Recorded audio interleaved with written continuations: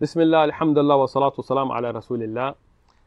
Everybody wants to utilize their life to get the most amount of rewards. We all want to get a lot of rewards. We have a very limited time in this dunya to try to get as many rewards as possible. For this video, we're going to show you something that in a few seconds can get you 10 plus rewards every time you do it.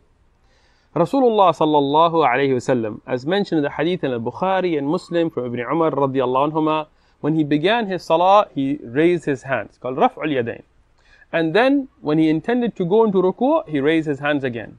And when he got up from the ruku', he raised his hands again.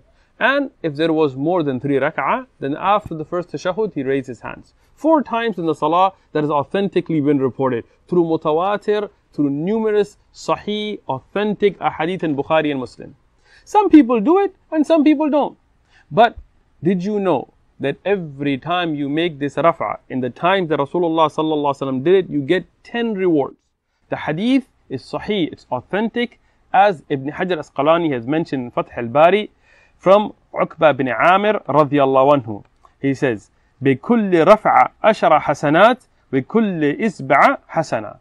For every time you raise your hand, rafa that you make, you get 10 rewards, one per finger.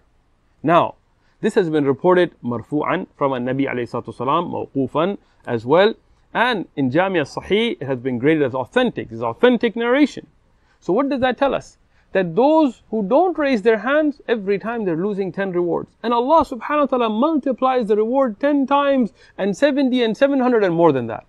So imagine each rafa that you're not doing, that is established from the Prophet sallallahu alaihi wasallam, you're losing hundreds of rewards.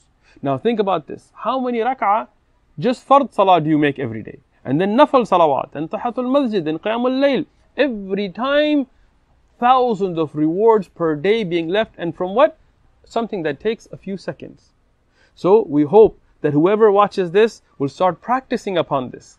And they will encourage this, they will send this video to others so they can practice. And when they practice, their good deeds will go in your Mizan al Hasanat. May Allah accept it from us.